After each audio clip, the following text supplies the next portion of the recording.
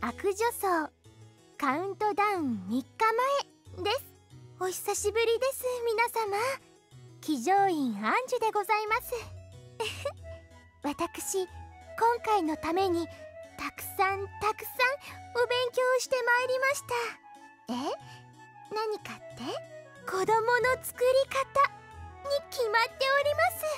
今回の悪女層ではそこがとても大事なのだとお伺いしました。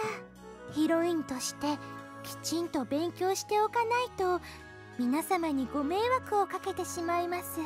ですのでメイドやバーヤにたくさんお話を聞いて予習してきたのですよ。でもどうしてでしょうか？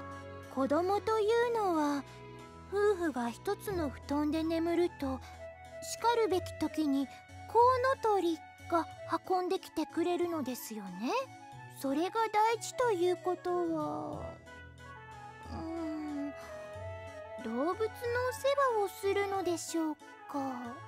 私まだコウノトリの実物を見たことはありませんが子供を一人運ぶだなんてとっても力持ちなんですね。